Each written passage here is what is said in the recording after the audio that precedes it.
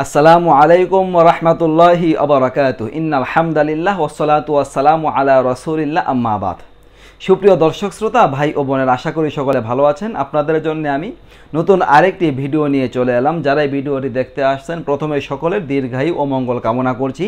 আল্লাহ পাক আপনাদের সবাইকে কবুল করে নেন। তো প্রিয় বন্ধুরা, আজকের এই ভিডিওটিতে আমি আলোচনা করব যে করোনা ভাইরাসের কারণে হজ মাফ হয়ে যাবে কিনা?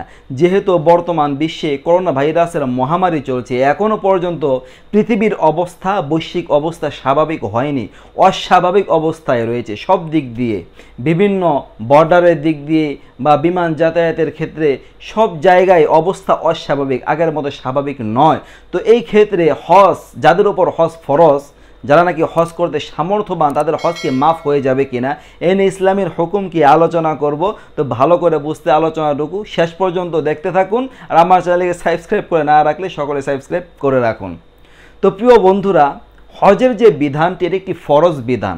আর হজের বিধান যদি কারও জীবনে একবার ফরজ হয়ে যায়, যে কোনো সময় যদি কারও জীবনে একবার হজ ফরজ হয় এরপরে তিনি যদি গরিবও হয়ে যান এরপর হজের বিধান তার জিম্মাদারি থেকে রহিত হবে না।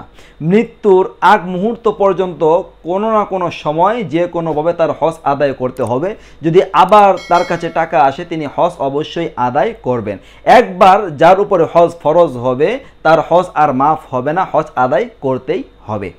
এখন যারা হজ করার সামর্থ্য রাখেন, যাদের উপর হজ ফরজ হয়েছে, কিন্তু যেহেতু করোনা ভাইরাসের মহামারী এই কারণে ফ্লাইট বন্ধ বা সৌদি আরবে পর্যাপ্ত পরিমাণে লোক নেওয়া হচ্ছে না, হাজি সাহেবদেরকে নেওয়া হচ্ছে না।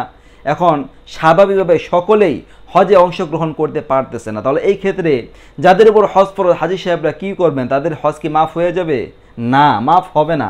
বরঞ্চ যারা নাকি এই মুহূর্তে করোনা ভাইরাসের মহামারী চলাকালীন যাদের উপর হজ ফরজ হবে, তো তাদের দুইটা পদক্ষেপ নিতে হবে। একটা পদক্ষেপ যে চেষ্টা প্রচেষ্টা করে যাওয়া তারা পাসপোর্টের পিছনে বা বিমানের টিকিটের পিছনে মেহনত করে যাবে। কখন সুযোগ হয়, যেভাবে সুযোগ হয়, সেইভাবে হজে যাওয়ার জন্য চেষ্টা প্রচেষ্টা করে যাবে।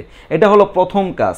হয়তো এই বছর দুই হাজার একুশে সৌদি আরবের পক্ষ থেকে মোট ষাট হাজার লোকদেরকে হজের উদ্দেশ্যে নেওয়া হবে। তো সৌদি আরবে নিজস্ব লোক থাকবে পনেরো হাজার আর বিশ্বের অন্যান্য সকল দেশ থেকে মোট থাকবে পঁয়তাল্লিশ হাজার। তাহলে মোট ষাট হাজার লোক এইবার হজ করবে সৌদি আরবে। এতে বোঝা যায় যে বাংলাদেশের হয়তো আর কত সংখ্যক লোক থাকবে। তো এখন ওই সিরিয়ালে, হজের সিরিয়ালে নিজের নাম ওঠা বা হজে যাওয়া এখন বর্তমান সময়ে এটা অনেক বড় একটা কষ্টদায়ক বিষয় হয়ে গেছে। তো এই কারণে যদি এই মুহূর্তে কারও উপর হজ ফরজ হয়, তো তাহলে কি কি করবেন? তো তিনি প্রথমত সিরিয়াল দিয়ে রাখবেন। তার চেষ্টা মোতাবেক তিনি করে যাবেন মেহনত।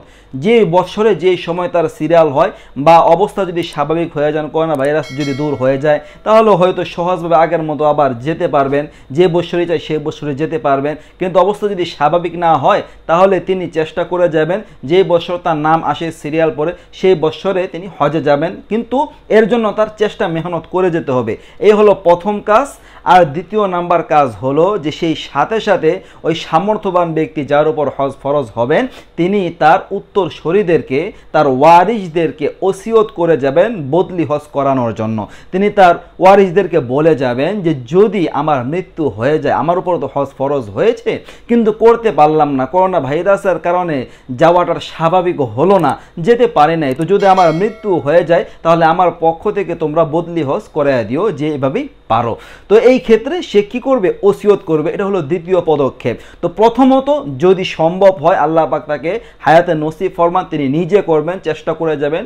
যে বছর সুযোগ হয়, সে বছর হজে যাবেন। করোনা ভাইরাস থাকুক বা না থাকুক, আল্লাহ যখন সুযোগ হয়, যে বছর হয়, তিনি যাবেন। এটা প্রথমত কাজ। আর দ্বিতীয় কাজ হলো যে তিনি ওয়ারিসদেরকে ওসিয়ত করবেন যে যদি আমি না করতে পারি, তাহলে তোমরা বদলি হজ করাইয়া দিও। তো এই হলো দুইটা কাজ প্রত্যেক সামর্থ্যবান হাজি সাহেবদের উপর দায়িত্ব। ও কর্তব্য। তো প্রিয় বন্ধুরা এই ছিল আলোচনা।